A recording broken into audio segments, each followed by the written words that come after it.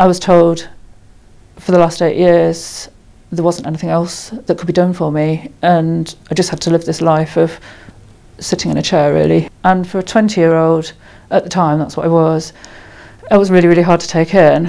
Um, and then, two, about two years ago, um, I was told I was eligible to try um, the mepolizumab um, drug, which was just coming out as a trial.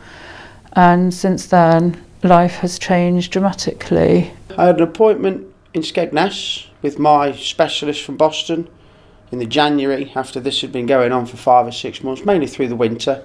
And he put me on a permanent course of steroids and referred me to Boston Hospital for further investigations into my bloods, etc., as to what was causing my problems. So I was also diagnosed with anemia, and I had a whole load of, I had some gastro problems as well, and I think things all came to a head.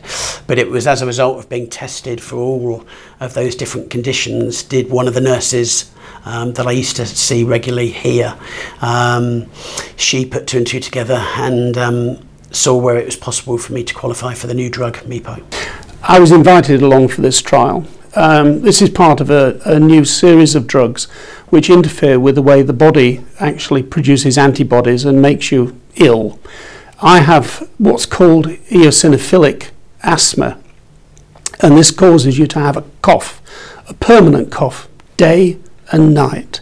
It's very often debilitating, it really is, it wears you out and my steroid intake would go up and down.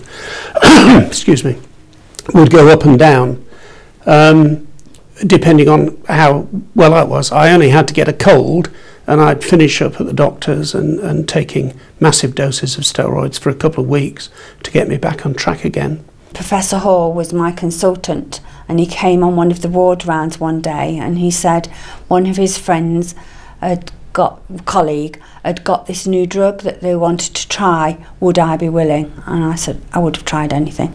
I would have tried uh, anything. And I came and even on the morning of me meant to come here I was admitted to A&E again. Luckily they got me right and I got here. And I had a job to get on it again because they wouldn't pass all the breathing tests. But I did. They pushed and pushed for me and I got on and it's changed my life.